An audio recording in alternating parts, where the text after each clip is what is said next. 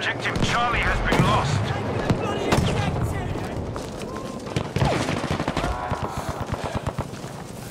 We have now taken Objective Baker.